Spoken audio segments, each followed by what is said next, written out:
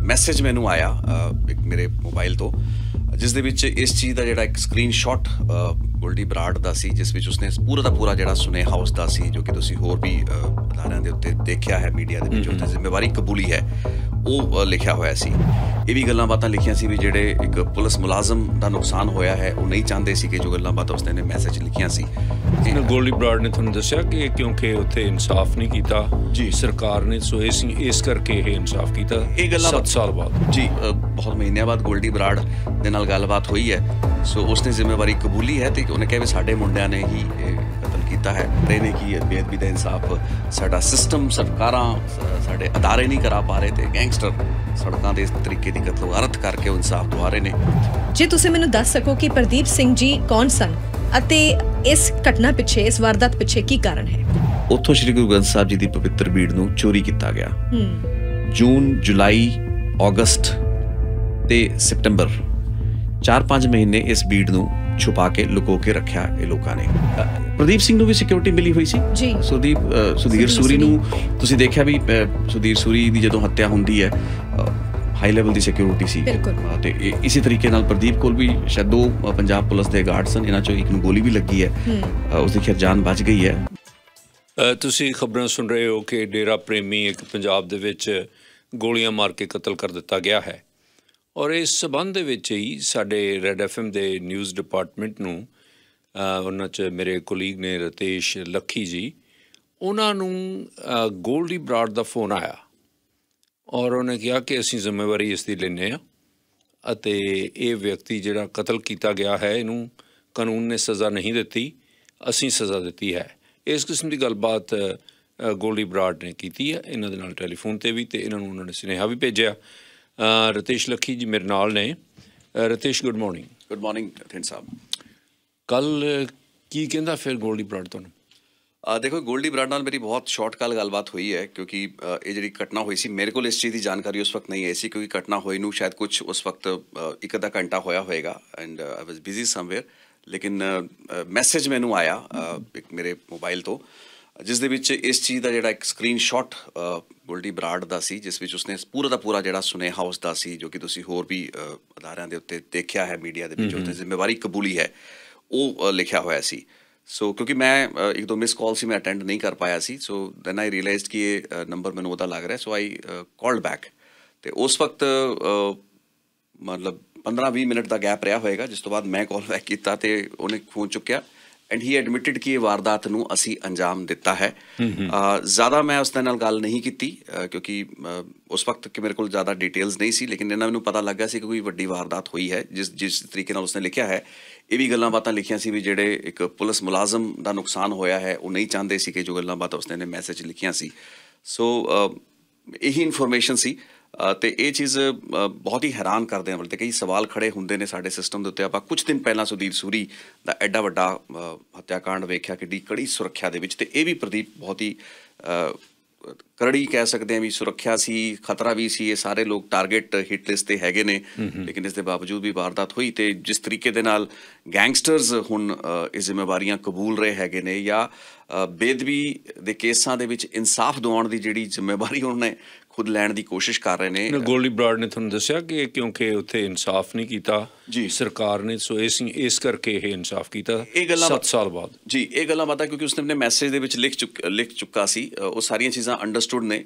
ਸਿਰਫ ਮੁੱਦਾ ਇਹ ਹੁੰਦਾ ਵੀ ਜੇ ਗੱਲ ਹੋ ਜਾਏ ਕਿਉਂਕਿ ਮੈਨੂੰ ਆਸ ਨਹੀਂ ਸੀ ਵੀ ਉਸ ਨੰਬਰ ਤੋਂ ਵਰਚੁਅਲ ਨੰਬਰਸ ਹੁੰਦੇ ਨੇ। ਉਹਨਾਂ ਨੰਬਰਸ ਦੇ ਉੱਤੇ ਤੁਸੀਂ ਕਈ ਵਾਰ ਕਾਲ ਬੈਕ ਕਰੋ ਤੁਹਾਡੇ ਕਾਲ ਨਹੀਂ ਲੱਗਦੇ। ਜਦੋਂ ਇਨ ਗੈਂਗਸਟਰਸ ਦਾ ਇਹ ਹੁੰਦਾ ਵੀ ਜਦੋਂ ਇਹ ਤੁਹਾਨੂੰ ਕੰਟੈਕਟ ਕਰਨਾ ਚਾਹਨੇ ਕਰ ਲੈਂਦੇ ਨੇ। ਲੇਕਿਨ ਤੁਸੀਂ ਜਦੋਂ ਕੰਟੈਕਟ ਕਰਨਾ ਚਾਹੋ ਤਾਂ ਨਹੀਂ ਕਰ ਪਾਉਂਦੇ। ਸੋ ਲੇਕਿਨ ਉਸ ਵਕਤ ਕਿਉਂਕਿ 15-20 ਮਿੰਟ ਦਾ ਗੈਪ ਰਿਹਾ ਹੋਏਗਾ ਮੈਂ ਕਾਲ ਬੈਕ ਕੀਤਾ ਤੇ ਉਸਨੇ ਫੋਨ ਚੁੱਕਿਆ ਐਂਡ ਗੋਲਡੀ ਬਰਾਡ ਨੇ ਇਸ ਚੀਜ਼ ਨੂੰ ਐਡਮਿਟ ਕਰ ਲਿਆ। ਕਿਉਂਕਿ ਅਕਸਰ ਇਹ ਸੰਸਾ ਹਮੇਸ਼ਾ ਰਹਿੰਦਾ ਹੈ ਕਿ ਅ, ਜਿਹਨੇ ਵੀ ਜ਼ਿੰਮੇਵਾਰੀ ਕਬੂਲੀ ਹੈ ਸੋਸ਼ਲ ਮੀਡੀਆ ਦੇ ਉੱਤੇ ਜਦੋਂ ਪੋਸਟਸ ਪਾਈ ਜਾਂਦੀਆਂ ਨੇ ਕੁਐਸਚਨ ਮਾਰਕ ਰਹਿੰਦਾ ਹੈ ਕਿ ਜੈਨੂਇਨ ਪੋਸਟ ਹੈ ਫੇਕ ਪੋਸਟ ਹੈ। ਕੁਝ ਦਿਨ ਪਹਿਲਾਂ ਜਦੋਂ ਸੁਧੀਰ ਸੂਰੀ ਦਾ ਕਤਲ ਹੋਇਆ ਸੀ ਤੇ ਲੰਡਾ ਹਰੀਕੇ ਦਾ ਮੈਸੇਜ ਮੈਨੂੰ ਆਉਂਦਾ ਹੈ ਉਸ ਬੇਸ ਉਤੇ ਆਪਾਂ ਉਸ ਵਕਤ ਗੱਲਬਾਤ ਵੀ ਕੀਤੀ ਸੀ। ਲੇਕਿਨ ਉਸ ਉੱਤੇ ਸੰਸਾ ਬਰਕਰਾਰ ਹੈ। ਆਪਾਂ ਪਹਿਲਾਂ ਵੀ ਕਿਹਾ ਸੀ ਵੀ ਪੁਲਿਸ ਇਨਵੈਸਟੀਗੇਟ ਕਰੇਗੀ ਹਜੇ ਤੱਕ ਉਹ ਵਾਲਾ ਐਂਗਲ ਨਿਕਲ ਕੇ ਨਹੀਂ ਆ ਰਿਹਾ ਪੁਲਿਸ ਦੀ ਇਨਵੈਸਟੀਗੇਸ਼ਨ ਦੇ ਵਿੱਚ। ਲੇਕਿਨ ਜਾਂਚ ਅਜੇ ਚੱਲਦੀ ਪਈ ਹੈ। ਸੋ ਯੂ ਨੈਵਰ ਨੋ ਕਿ ਉਹ ਕੀ ਪੂਰੀ ਦੀ ਪੂਰੀ ਗੱਲਬਾਤ ਲਿੰਕ ਹੁੰਦੀ ਹੈ। ਸੋ ਇੱਕ ਸੰਸਾ ਰਹਿੰਦਾ ਲੇਕਿਨ ਇਸ ਕੇਸ ਦੇ ਵਿੱਚ ਬਹੁਤ ਮਹੀਨਿਆਂ ਬਾਅਦ ਗੋਲਡੀ ਬਰਾੜ ਦੇ ਨਾਲ ਗੱਲਬਾਤ ਹੋਈ ਹੈ। ਸੋ ਉਸਨੇ ਜ਼ਿੰਮੇਵਾਰੀ ਕਬੂਲੀ ਹੈ ਤੇ ਉਹਨੇ ਕਿਹਾ ਵੀ ਸਾਡੇ ਮੁੰਡਿਆਂ ਨੇ ਹੀ ਇਹ ਕਤਲ ਕੀਤਾ ਹੈ। ਬਾਅਦ ਦੇ ਵਿੱਚ ਜਿਹਨੇ ਡਿਟੇਲਸ ਆਈਆਂ ਕਿਉਂਕਿ ਮੈਂ ਜ਼ਿਆਦਾ ਲੰਬੀ ਗੱਲਬਾਤ ਨਹੀਂ ਕੀਤੀ ਮੇਰਾ ਮਕਸਦ ਇਹ ਨਹੀਂ ਸੀ ਮੈਂ ਜਸਟ ਸਿਰਫ ਚੈੱਕ ਕਰਨਾ ਚਾਹੁੰਦਾ ਸੀ ਕਿ ਫੋਨ ਨੰਬਰ ਚੱਲਦਾ ਪਿਆ ਹੈ ਨਹੀਂ ਚੱਲਦਾ ਪਿਆ। Incidentally it connected Worked. It worked it worked ਤੇ ਬੜੀ ਹੈਰਾਨੀ ਦੀ ਗੱਲ ਹੈ। ਕਿ ਯੂ نو ਗੈਂਗਸਟਰਸ ਕੰਮ ਕਰ ਰਹੇ ਨੇ and they are taking up that moral high ਜਿਸ ਨੂੰ ਕਹਿੰਦੇ ਕਿ ਮੋਰਲ ਹਾਈ ਲੈ ਰਹੇ ਨੇ ਕਿ ਬੇਅਦਬੀ ਦਾ ਇਨਸਾਫ ਸਾਡਾ ਸਿਸਟਮ ਸਰਕਾਰਾਂ ਸਾਡੇ ਅਦਾਰੇ ਨਹੀਂ ਕਰਾ ਪਾ ਰਹੇ ਤੇ ਗੈਂਗਸਟਰ ਸੜਕਾਂ ਦੇ ਇਸ ਤਰੀਕੇ ਦੀ ਕਤਲੋਗਾਰਤ ਕਰਕੇ ਉਹ ਇਨਸਾਫ ਦਵਾ ਰਹੇ ਨੇ। ਬਹੁਤ ਹੀ ਅਨਫੋਰਚੂਨੇਟ ਹੈ ਸਾਡੇ ਸਟੇਟ ਆਫ ਅਫੇਅਰਸ ਲਈ ਪੰਜਾਬ ਦੀ। ਰੋਸ਼ਨੀ ਸ਼ੋਅ ਵਿੱਚ ਤੁਹਾਡਾ ਸਾਰਿਆਂ ਦਾ ਬਹੁਤ-ਬਹੁਤ ਸਵਾਗਤ ਹੈ ਅਤੇ ਹੁਣ ਅਸੀਂ ਪ੍ਰੋਗਰਾਮ ਦੇ ਉਸ ਹਿੱਸੇ ਵਿੱਚ ਪਹੁੰਚ ਗਏ ਹਾਂ ਜਿੱਥੇ ਬਹੁਤ ਹੀ ਦਿਲਚਸਪ ਗੱਲ ਕੀਤੀ ਜਾਵੇਗੀ। ਅੱਜ ਸਵੇਰੇ ਕੋਟ ਕਪੂਰਾ ਵਿੱਚ ਇੱਕ ਅਣਪਛਾਤੇ ਗਨਮੈਨ ਨੇ ਪ੍ਰਦੀਪ ਸਿੰਘ, ਜੋ ਕਿ ਡੇਰਾ ਸੱਚਾ ਸੌਦਾ ਨਾਲ ਜੁੜੇ ਹੋਏ ਹਨ, ਉਹਨਾਂ ਨੂੰ ਗੋਲੀ ਮਾਰ ਕੇ ਕਤਲ ਕਰ ਦਿੱਤਾ। ਪੰਜਾਬ ਵਿੱਚ ਇਸ ਤਰ੍ਹਾਂ ਦੀਆਂ ਵਾਰਦਾਤਾਂ ਬਹੁਤ ਵਧ ਰਹੀਆਂ ਨੇ। ਪਿਛਲੇ 4-5 ਦਿਨਾਂ ਵਿੱਚ ਵੀ ਅਸੀਂ ਇਸ ਤਰ੍ਹਾਂ ਦੀ ਇੱਕ ਵਾਰਦਾਤ ਸੁਣੀ ਸੀ, ਜਿਹੜੀ ਅੰਮ੍ਰਿਤਸਰ ਵਿੱਚ ਸ਼ਿਵ ਸੈਨਾ ਦੇ ਜਿਹੜੇ ਲੀਡਰ ਸਨ, ਸੁਧੀਰ ਸੂਰੀ, ਉਹਨਾਂ ਨੂੰ ਪੂਰੀ ਸਿਕਿਉਰਿਟੀ ਦੇ ਵਿੱਚ ਗੋਲੀ ਮਾਰ ਕੇ ਕਤਲ ਕਰ ਦਿੱਤਾ ਗਿਆ। ਇਸ ਤਰ੍ਹਾਂ ਦੀਆਂ ਵਾਰਦਾਤਾਂ ਦੇ ਪਿੱਛੇ ਕੀ ਕਹਾਣੀ ਹੈ ਕੀ ਇਸ ਪਿੱਛੇ ਚੱਲ ਰਿਹਾ ਹੈ? ਇਸ ਬਾਬਤ ਹੋਰ ਜਾਣਕਾਰੀ ਲੈਣੇ ਆ ਸਾਡੇ Red FM reporter Ritesh Lucky ਤੋਂ ਜੋ ਕਿ ਸਾਨੂੰ ਦੱਸਣਗੇ ਕਿ ਇਹ ਕਿਸੇ ਅਣਪਛਾਤੇ ਸ਼ਖਸ ਦਾ ਕੰਮ ਨਹੀਂ ਬਲਕਿ ਉਸੇ ਸ਼ਖਸ ਦਾ ਕੰਮ ਹੈ ਜੋ ਕਿ ਕੁਝ ਮਹੀਨਿਆਂ ਤੋਂ ਸੁਰਖੀਆਂ ਵਿੱਚ ਸਨ। So Ritesh ji welcome to the show thank you Parmeet ਜੇ ਤੁਸੀਂ ਮੈਨੂੰ ਦੱਸ ਸਕੋ ਕਿ ਪ੍ਰਦੀਪ ਸਿੰਘ ਜੀ ਕੌਣ ਸਨ ਅਤੇ ਇਸ ਘਟਨਾ ਪਿੱਛੇ ਇਸ ਵਾਰਦਾਤ ਪਿੱਛੇ ਕੀ ਕਾਰਨ ਹੈ? ਦੇਖੋ ਮੈਂ ਤੁਹਾਨੂੰ ਦੱਸਦਾ ਕਿ ਸਾਲ 2015 ਦੇ ਵਿੱਚ ਅੱਜ ਤੋਂ 7 ਸਾਲ ਪਹਿਲਾਂ 7 ਸਾਲ ਤੋਂ ਵੱਧ ਹੋ ਚੁੱਕੇ ਨੇ। ਪੰਜਾਬ ਵਿੱਚ ਬੇਦਬੀ ਦੀਆਂ ਘਟਨਾਵਾਂ ਹੋਈਆਂ। ਜੂਨ 1 ਜੂਨ 2015 ਨੂੰ ਬੁਰਜਵਾਰ ਸਿੰਘ ਵਾਲਾ ਜਿਹੜਾ ਪਿੰਡ ਹੈ ਕੋਟਕਪੂਰੇ ਦੇ ਨੇੜੇ ਪੈਂਦਾ ਜਿੱਥੇ ਇਹ ਘਟਨਾ ਹੋਈ ਹੈ ਕੁਝ ਘੰਟੇ ਪਹਿਲਾਂ। ਉੱਥੋਂ ਸ੍ਰੀ ਗੁਰੂ ਗ੍ਰੰਥ ਸਾਹਿਬ ਜੀ ਦੀ ਪਵਿੱਤਰ ਬੀੜ ਨੂੰ ਚੋਰੀ ਕੀਤਾ ਗਿਆ। ਜੂਨ ਜੁਲਾਈ ਅਗਸਤ ਤੇ ਸਪਟੈਂਬਰ 4-5 ਮਹੀਨੇ ਇਸ ਬੀੜ ਨੂੰ ਛੁਪਾ ਕੇ ਲੁਕੋ ਕੇ ਰੱਖਿਆ ਇਹ ਲੋਕਾਂ ਨੇ। ਉਸ ਵਕਤ ਤਾਂ ਡੇਰੇ ਸੱਚੇ ਸੌਦੇ ਦੇ ਕੁਝ ਜਿਹੜੇ ਸਮਰਥਕ ਬਾਅਦ ਦੇ ਵਿੱਚ ਇਸ ਕੇਸ ਦੇ ਵਿੱਚ ਨਾਮਜ਼ਦ ਹੋਏ ਉਹਨਾਂ ਦਾ ਨਾਂ ਜ਼ਿਕਰ ਨਹੀਂ ਆਇਆ। ਪੁਲਿਸ ਦੀ ਪੜਤਾਲ ਦੇ ਵਿੱਚ ਕਈ ਸਿੱਟਾਂ ਬਣੀਆਂ ਸਪੈਸ਼ਲ ਇਨਵੈਸਟੀਗੇਟਿਵ ਟੀਮਸ ਲੇਕਿਨ ਅਕਤੂਬਰ ਦੇ ਮਹੀਨੇ ਦੇ ਵਿੱਚ ਬਰਗਾੜੀ ਦੇ ਵਿੱਚ ਬੇਦਬੀ ਹੋ ਜਾਂਦੀ ਹੈ। ਸੋ ਜਿਹੜੀ ਇਨਵੈਸਟੀਗੇਸ਼ਨ ਹੋਈ ਉਸ ਦੇ ਵਿੱਚ ਇਹ ਸਪਾਇਆ ਗਿਆ ਕਿ 1 ਜੂਨ ਨੂੰ ਬੁਰਜਵਾਰ ਸਿੰਘ ਵਾਲਾ ਤੋਂ ਜਿਹੜੀ ਬੀੜ ਚੁੱਕੀ ਗਈ ਸੀ ਉਸੇ ਦੇ ਜਿਹੜੇ ਅੰਗ ਸਨ ਉਹਨਾਂ ਦੀ ਬੇਦਬੀ ਕੀਤੀ ਗਈ ਤੇ ਬਰਗਾੜੀ ਦੇ ਵਿੱਚ ਖਲੇਰਿਆ ਗਿਆ। ਸੋ ਇਹ ਪੂਰੀ ਦੀ ਪੂਰੀ ਕ੍ਰਿਮੀਨਲ ਕਨਸਪੀਰੇਸੀ ਸੀ। ਤਕਰੀਬਨ ਅ, ਡੇਢ ਕੁ ਸੌ ਘਟਨਾਵਾਂ ਹੋਈਆਂ ਨੇ ਜਦੋਂ ਕਿ ਬੇਦਬੀ ਦੀਆਂ ਪੰਜਾਬ ਦੇ ਵਿੱਚ ਰਹੀਆਂ ਪਿਛਲੇ ਕੁਝ ਸਾਲਾਂ ਦੇ ਵਿੱਚ ਅ, 2015 ਤੱਕ।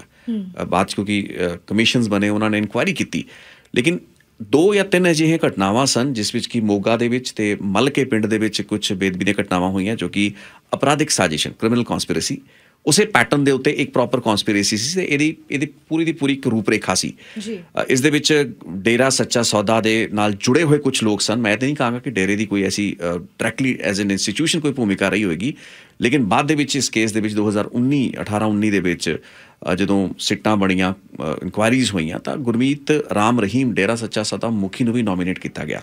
ਸਮਝ ਵਿੱਚ ਆਇਆ ਕਿ ਇੱਕ ਐਂਡ ਮੋਡਿਊਲ ਸੀਗਾ ਜਿਸ ਦੇ ਤਹਿਤ ਕਿ ਮਹਿੰਦਰਪਾਲ ਬਿੱਟੂ ਜੋ ਕਿ ਕੋਟ ਕਪੂਰੇ ਦੇ ਇਲਾਕੇ ਦੇ ਵਿੱਚ ਬਹੁਤ ਫਰੀਦਕੋਟ ਕੋਟਕੋਰੀ ਬਹੁਤ ਪ੍ਰਭਾਵਸ਼ਾਲੀ ਡੇਰੇ ਸੱਚੇ ਸੌਦੇ ਦਾ ਸਮਰਥਕ ਵੀ ਸੀ। ਉੱਥੋਂ ਦਾ ਉਹ ਸਰਕਲ ਦਾ ਪ੍ਰਧਾਨ ਕਹਿ ਲਈਏ ਜਾਂ ਜਿਹੜਾ ਮੋਤਵਰ ਉਹਨਾਂ ਦਾ ਕਾਫੀ ਰਸੂਖਦਾਰ ਬੰਦਾ ਸੀ। ਸੋ ਮਹਿੰਦਰਪਾਲ ਬਿੱਟੂ ਨੇ ਟਾਸਕ ਕੀਤਾ ਤੇ 1 ਜੂਨ ਤੋਂ ਲੈ ਕੇ 12 ਅਕਤੂਬਰ 2015 ਦੇ ਵਿੱਚ ਜਿਹੜੀ ਬੇਦਬੀ ਹੋਈ ਇਵਨ ਗੁਰੂ ਗ੍ਰੰਥ ਸਾਹਿਬ ਜੀ ਦੀ ਬੀੜ ਨੂੰ ਚੁੱਕਣਾ ਵੀ ਬੇਦਬੀ ਸੀ। ਜੀ। ਉਸ ਨੂੰ ਇਹ ਤਰੀਕੇ ਨਾਲ ਰੱਖਣਾ ਵੀ ਬੇਦਬੀ ਸੀ ਤੇ ਬਾਅਦ ਦੇ ਵਿੱਚ ਜੋ ਹੋਇਆ। ਸੋ ਉਸ ਦੇ ਵਿੱਚ ਪ੍ਰਦੀਪ ਦਾ ਇੱਕ ਅਹਿਮ ਰੋਲ ਸੀ। ਆ ਜਿਹੜਾ ਮੁੰਡਾ ਪ੍ਰਦੀਪ ਹੈ। ਪ੍ਰਦੀਪ ਸਿੰਘ। ਸ਼ਕਤੀ ਸਿੰਘ ਸੰਨੀ ਨੀਲਾ ਜਿਹੇ ਤਕਰੀਬਨ 7-8 ਲੋਕ ਸੀਗੇ ਜਿਹੜੇ ਕਿ ਨਾਮਜ਼ਦ ਹੋਏ ਤੇ ਬਾਅਦ ਦੇ ਵਿੱਚ ਐਂਡ ਦੇ ਵਿੱਚ ਗੁਰਮੀਤ ਰਾਮ ਰਹੀਮ ਨੂੰ ਵੀ ਇਸ ਕੇਸ ਦੇ ਵਿੱਚ ਨਾਮਜ਼ਦ ਕਰ ਲਿਆ ਗਿਆ। ਐਫ ਆਈ ਆਰ ਦੇ ਵਿੱਚ ਉਹਦਾ ਵੀ ਨਾਂ ਆ ਗਿਆ। ਇੱਥੇ ਦੱਸ ਦਈਏ ਕਿ ਇਹ ਲੋਕ ਬੇਲ ਦੇ ਉੱਤੇ ਬਾਹਰ ਸਨ। ਇਹਨਾਂ ਨੂੰ ਫੜਿਆ ਗਿਆ ਜੇਲ੍ਹਾਂ ਦੇ ਵਿੱਚ। ਕਈ ਵਾਰ ਮਲਟੀਪਲ ਟਾਈਮਸ ਫੜੇ ਗਏ ਨੇ। ਤਿੰਨ. ਐਫ ਆਈ ਆਰ ਰਜਿਸਟਰ ਹੋਈਆਂ ਸੀ। ਅ, 63 ਨੰਬਰ ਐਫ ਆਈ ਆਰ ਸੀ ਜੋ ਕਿ ਬੁਰਜਵਾਰ ਸਿੰਘ ਵਾਲਾ ਜਦੋਂ ਬੀੜ ਚੋਰੀ ਹੋਈ ਉੱਥੇ ਦਰਜ ਹੋਈ 117 128 3 ਡਿਫਰੈਂਟ ਐਫ ਆਈ ਆਰ ਜਿਹਦੇ ਵਿੱਚ ਇੱਕ ਸਿੱਟ ਬਣੀ ਸੀ। ਇਹ ਕੇਸ ਕਈ ਸਾਲ ਤਾਂ ਸੀਬੀਆਈ ਦੇ ਕੋਲ ਰਿਹਾ। ਸੀਬੀਆਈ ਤੋਂ ਕੇਸ ਪੰਜਾਬ ਪੁਲਿਸ ਨੂੰ ਲਿਆਉਣ ਲਈ ਵੀ ਬਹੁਤ ਲੰਬੇ ਚੌੜੇ ਲੈਵਲ ਦੇ ਉੱਤੇ ਸੰਘਰਸ਼ ਕਰਨਾ ਪਿਆ। ਅਦਾਲਤਾਂ ਦੇ ਵਿੱਚ ਮੁਕੱਦਮੇ ਚਲੇ ਫਿਰ ਇਹ ਬਾਅਦ ਦੇ ਵਿੱਚ ਇਨਵੈਸਟੀਗੇਸ਼ਨ ਪੰਜਾਬ ਪੁਲਿਸ ਕੋਲ ਆਈ।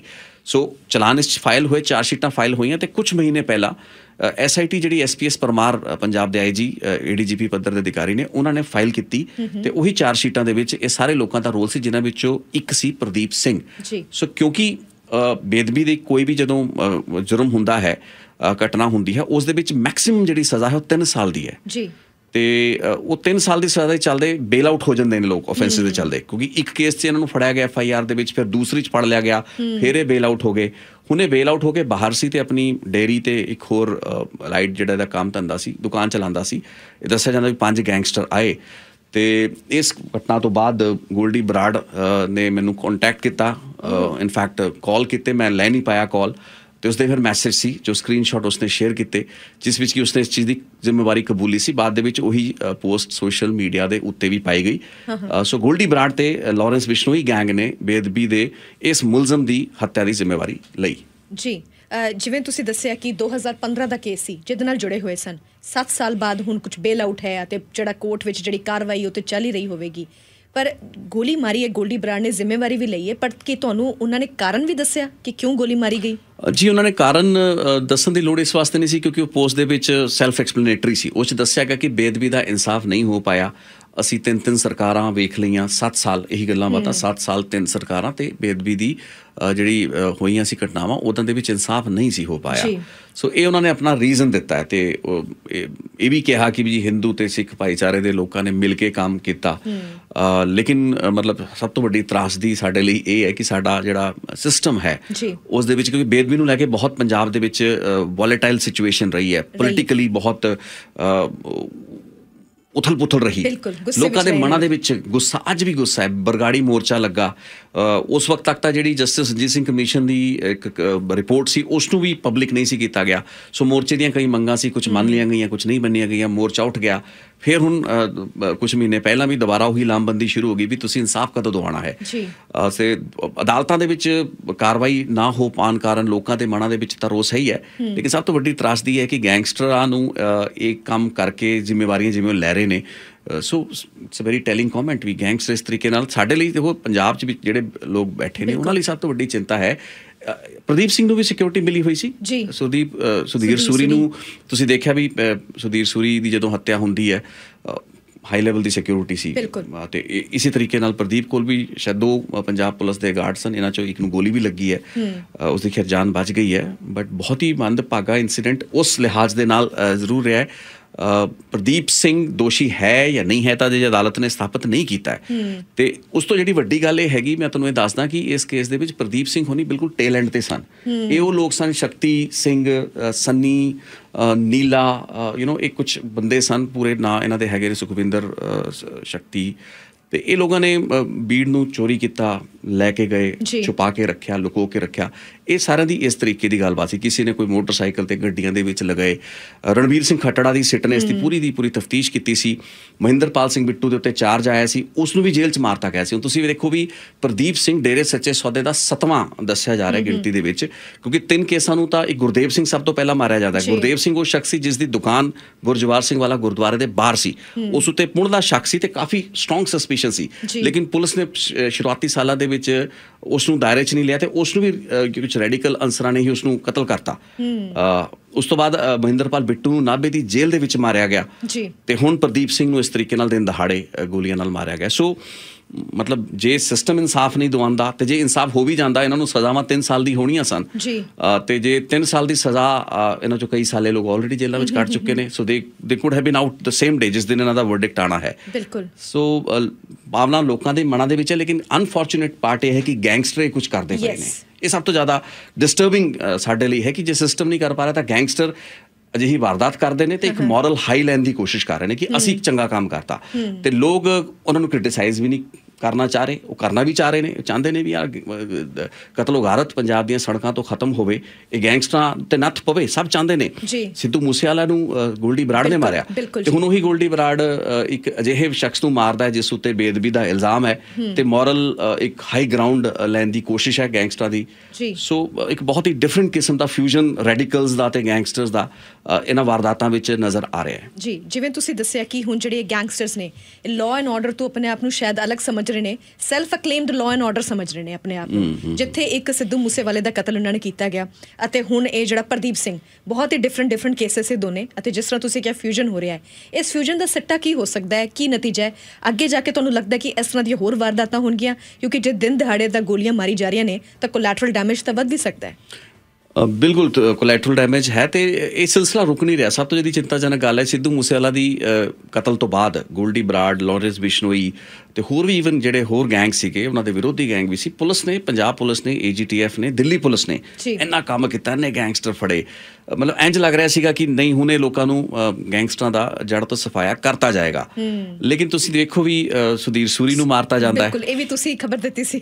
ਹਾਂ ਸੁਧੀਰ ਸੂਰੀ ਨੂੰ ਤਾਂ ਹਾਲਾਂਕਿ ਚਲੋ ਜਿਸ ਨੌਜਵਾਨ ਨੇ ਮਾਰਿਆ ਹੈ ਉਹ ਗੈਂਗਸਟਰਾਂ ਦੇ ਨਾਲ ਲਿੰਕਡ ਹੈ ਜਾਂ ਨਹੀਂ ਹੈ ਚੀਜ਼ ਕਲੀਅਰ ਨਹੀਂ ਹੋ ਪਾਈ। ਲੇਕਿਨ ਲੰਡਾ ਹਰੀਕੇ ਨੇ ਇਹ ਚੀਜ਼ ਨੂੰ ਕਲੇਮ ਕੀਤਾ ਜਿਹੜਾ ਗੈਂਗਸਟਰ ਬੈਠਾ ਕੈਨੇਡਾ 'ਚ ਦੱਸਿਆ ਜਾਂਦਾ ਉਹ। ਜੀ। ਤੇ ਹੁਣ ਗੋਲਡੀ ਬਰਾਡ ਵੀ ਅਗੇਨ ਕੈਨੇਡਾ ਦੇ ਵਿੱਚ ਹੀ ਮੰਨਿਆ ਜਾਂਦਾ ਹੈ ਲੇਕਿਨ ਪ੍ਰੋਬੇਬਲੀ ਉਹ ਅਮਰੀਕਾ ਦੇ ਵਿੱਚ ਨਿਕਲ ਗਿਆ ਹੋ ਸਕਦਾ ਹੈ ਵੀ ਨਾਟ ਨੋ ਹਿਸ ਲੋਕੇਸ਼ਨ ਲੇਕਿਨ ਇਹ ਬਹੁਤ ਇੱਕ ਵੱਡੀ ਗੱਲ ਹੈਗੀ ਜਿਹੜੀ ਤੁਸੀਂ ਵੀ ਗੱਲ ਕਹੀ ਹੈ ਕਿ ਇਹ ਜਿਹੜਾ ਸਿਲਸਿਲਾ ਨਹੀਂ ਰੁਕ ਪਾ ਰਿਹਾ ਤੇ ਇਹਦਾ ਨਾ ਰੁਕਣਾ ਇੱਕ ਬਹੁਤ ਮਤਲਬ ਡਿਸਟਰਬਿੰਗ ਜਿਹਾ ਐਲੀਮੈਂਟ ਹੈ ਕਿਉਂਕਿ ਇਹਦੇ ਨਾਲ ਦੇਖੋ ਮਿਕਸ ਜਿਹਾ ਸੈਂਟੀਮੈਂਟ ਆਂਦਾ ਹੈ ਕਿ ਲੋਕਾਂ ਦੇ ਮਨਾਂ ਦੇ ਵਿੱਚ ਇਹ ਸੀ ਵੀ ਬੇਦਬੀ ਦੇ ਦੋਸ਼ੀਆਂ ਨੂੰ ਸਜ਼ਾ ਮਿਲੇ। ਅੱਛਾ ਦੂਸਰਾ ਇੱਕ ਵੱਡਾ ਇਸ਼ੂ ਇਹ ਵੀ ਹੈ ਕਿਉਂਕਿ ਜਿਹੜੇ ਮੈਂ ਡੇਰਾ ਸੱਚਾ ਸੌਦਾ ਦਾ ਮੁਖੀ ਗੁਰਮੀਤ ਆਰਾਮ ਰਹੀਮ ਜੀ। ਤੇ ਮਹਿੰਦਰਪਾਲ ਬਿੱਟੂ ਹੁਣ ਇਹ ਦੋਵੇਂ ਕੇਸਾਂ ਦੇ ਵਿੱਚ ਮਹਿੰਦਰਪਾਲ ਬਿੱਟੂ ਮਰ ਚੁੱਕਾ ਹੈ ਗੁਰਮੀਤ ਰਾਮ ਰਹੀਮ ਜੇਲ੍ਹ ਵਿੱਚ ਹੈ ਉਸ ਤੋਂ ਪੁੱਛਗਿੱਛ ਸਿੱਟ ਨੇ ਕੀਤੀ ਪਰਮਾਰ ਐਸਪੀਐਸ ਪਰਮਾਰ ਨੇ।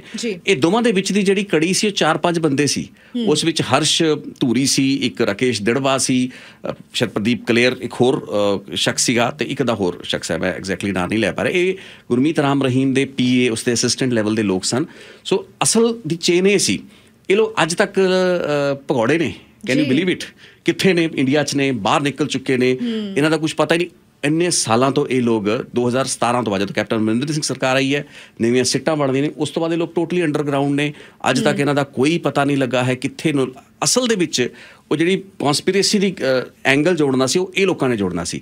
So as of now we don't know ਕਿ ਪ੍ਰਦੀਪ ਸਿੰਘ ਨੇ ਇਸ ਘਟਨਾ ਦੇ ਵਿੱਚ ਇਹ ਰਣਵੀਰ ਖੱਟੜਾ ਦੀ ਸਿੱਟ ਕਹਿ ਰਹੀ ਹੈ ਕਿ ਉਹਨਾਂ ਨੇ ਸਭ ਕੁਝ ਕੀਤਾ। ਮੈਂ ਰਣਵੀਰ ਖੱਟੜਾ ਨੂੰ ਇਨਫੈਕਟ 2018 ਦੇ ਵਿੱਚ ਆਮ ਨਾਟ ਰੋਂਗ ਇੰਟਰਵਿਊ ਕੀਤਾ ਸੀ।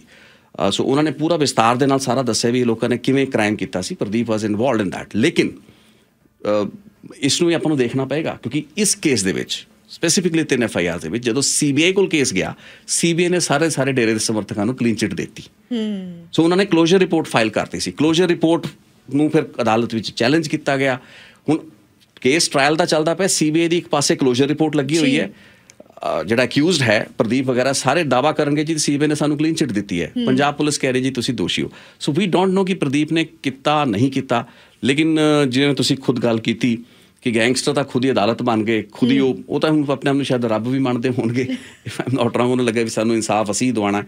ਸੋ ਬਹੁਤ ਇੱਕ ਅਨਫੋਰਚੂਨੇਟ ਇਨਸੀਡੈਂਟ ਮੈਂ ਪੰਜਾਬ ਦੇ ਲਿਹਾਜ਼ ਨਾਲ ਕਹਾਂਗਾ। ਪੰਜਾਬ ਦਾ ਜਿਹੜਾ ਅਮਨ ਓਮਾਨ ਹੈ ਜਾਂ ਪੰਜਾਬ ਦਾ ਜੋ ਜੋ ਮਾਹੌਲ ਹੈ। ਉਸ ਦੇ ਲਈ ਇਹ ਚੰਗੀ ਖਬਰ ਨਹੀਂ ਇਸ ਤਰੀਕੇ ਇਨਸਾਫ ਚਾਹੀਦਾ ਲੇਕਿਨ ਆ ਕੋਈ ਤਰੀਕਾ ਮਤਲਬ ਜੇ ਇਸ ਨੂੰ ਤਰੀਕਾ ਮੰਨੀਏ ਤਾਂ ਮੈਨੂੰ ਲੱਗਦਾ ਵੀ ਆਪਾਂ ਫਿਰ ਪਤਾ ਨਹੀਂ ਕਿਹੜੇ ਯੁੱਗ ਦੇ ਵਿੱਚ ਜੀ ਰਹੇ ਹਾਂ ਕਿਹੜੇ। ਸਮੇਂ ਦੇ ਵਿੱਚ ਜੀ ਰਹੇ ਹਾਂ ਆਪਾਂ ਬਿਲਕੁਲ thank you so much Ritesh ji ਤੁਸੀਂ ਇਹ ਗੱਲਾਂ ਸਾਡੇ ਨਾਲ। ਸਾਂਝੀ ਕੀਤੀਆਂ ਬਿਲਕੁਲ ਠੀਕ ਗੱਲ ਤੁਸੀਂ ਕਹੀ ਪਤਾ ਨਹੀਂ ਕਿ ਅਮਨ ਦੇ ਵਾਸਤੇ ਤੇ ਇਹ ਗੱਲ ਖਰਾਬ ਹੈ ਹੀ ਹੈ ਚਾਹੇ ਸਜ਼ਾ ਇੱਕ ਦੇਣ ਦਾ ਤਰੀਕਾ ਹੁੰਦਾ ਹੈ ਅਤੇ ਇੱਕ ਅਥਾਰਟੀ ਵੱਲੋਂ ਦਿੱਤਾ ਜਾਣਾ ਚਾਹੀਦਾ ਹੈ ਬਟ ਜਿਹੜੇ ਲੋਕ ਸਜ਼ਾ ਨੂੰ ਅੰਜਾਮ ਦੇ ਰਹੇ ਨੇ ਉਹਨਾਂ ਬਾਰੇ ਹੀ ਸਾਨੂੰ ਪਤਾ ਨਹੀਂ ਸੋ ਖੈਰ ਇਸ ਬਾਬਤ ਹੋਰ ਚਰਚਾ ਕੀਤੀ ਜਾਵੇਗੀ ਤੁਹਾਡੇ ਨਾਲ ਜਿਵੇਂ ਸਾਨੂੰ ਕੋਈ ਅਪਡੇਟ ਮਿਲਦਾ ਹੈ. ਥੈਂਕ ਯੂ ਸੋ ਮਚ ਜੀ। ਧੰਨਵਾਦ ਪਰਮੀਤ ਜੀ।